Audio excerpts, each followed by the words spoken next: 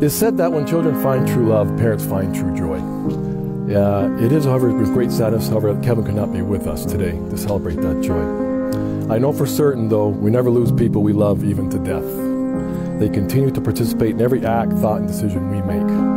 On this special day, Kelly, you can take comfort in knowing that your dad is here with you in so many ways.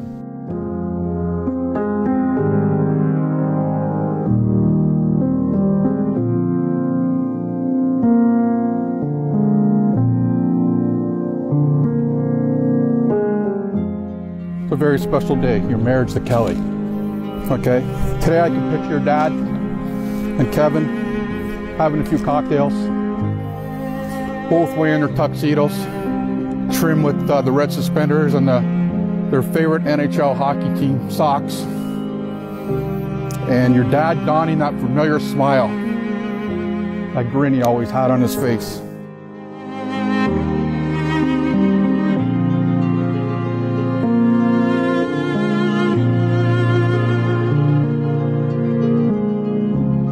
I know your dad loved Kelly. He would be very happy and excited, would welcome Kelly with open arms to his family.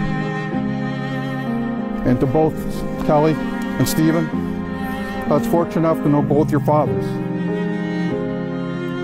And if they were here today, I think the advice from both of them would be always put your family as your number one priority. Because as you all know, that was their number one priority.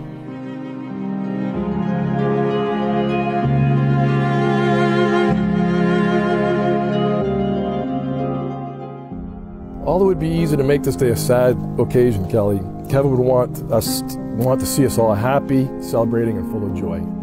Uh, just like you today, you've been laughing all day. That's how Kevin was. He laughed. He had that dumb grin on his face. He always laughed.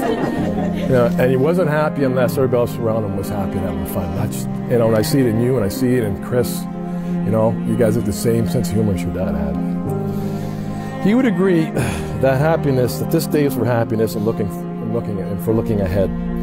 He would be so pleased that Kelly and Steven found each other. Although Steven, I'm sure he'd be taking you aside and sharing a few words with you. Probably referring to the Lord's name, I'm sure, once or twice. As only Kevin would say, and giving advice and protecting his only daughter. Kelly meant the world to Kevin.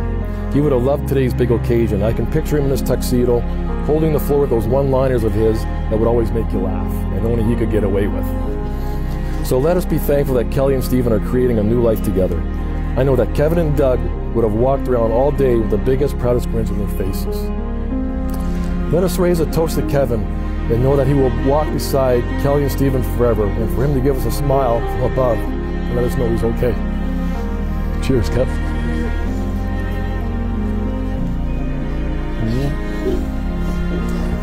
Thanks, Kelly. Thank you so much. I did a good job. It doesn't seem like it right now, but standing up here and speaking with everyone has been part of the day that I have been looking forward to most. As I realize there's very few times in life, if there's only once, that you have the opportunity to be surrounded by all the most important people in your life and thank those who have such who have had such a great impact. And since our engagement, I have been looking forward to this opportunity.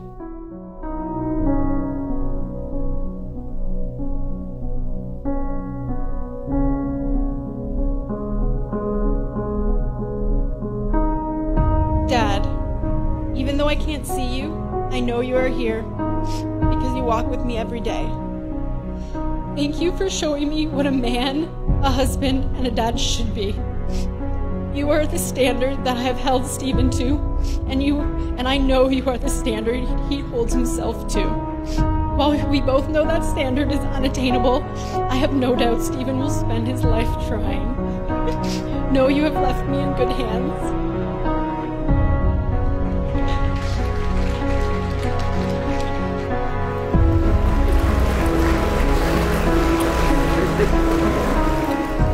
When I was about 16, my dad told me, in his eyes, there would never be anybody good enough for me. But the right person will be the one who pushes you to be better than I already am. Since the day I met you, you started making me better.